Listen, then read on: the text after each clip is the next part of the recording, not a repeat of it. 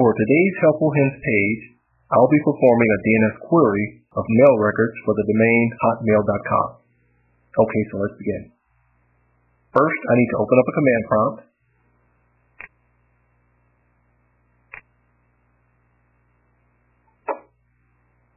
Now inside the command prompt window, I'm going to type nslookup and hit enter.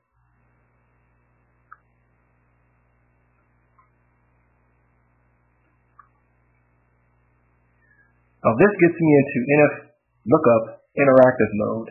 Notice the command prompt changes to a greater than sign when you're in interactive mode.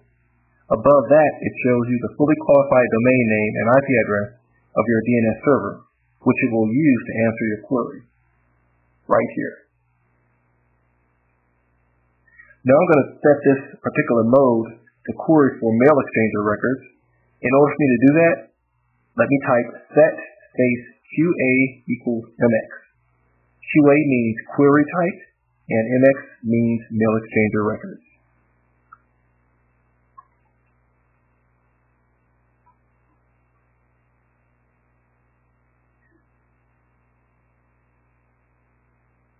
Now that mode is set, the next domain name I enter at the prompt, my DNS server will automatically query for that domain's mail exchanger resource records. Okay, so let me type in hotmail.com because that's, that's the domain I'm looking for.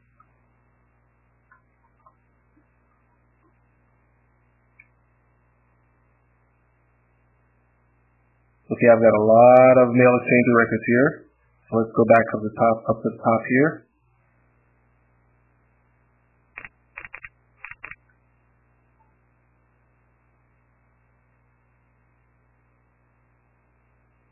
Now notice in the output, you've got where it says non-authoritative answer.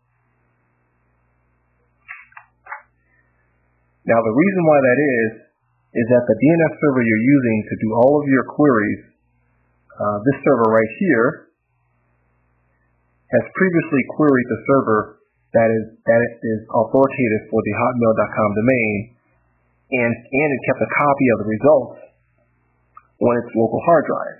It did this so that it could answer any new queries about the hotmail.com domain faster and without re-querying for, that, for this information again from the authoritative DNS server of hotmail.com. So in effect, the output is listed as non-authoritative instead of authoritative. Now it looks like we have about about uh, 20 or so servers here, and these are all the servers listed right here. All right, so let's go ahead and exit out of uh, NS interactive mode. Just type exit here to do that, and then we can type exit again to, exit out of um, the command prompt. And that's pretty much it. There you have it. Lesson for today.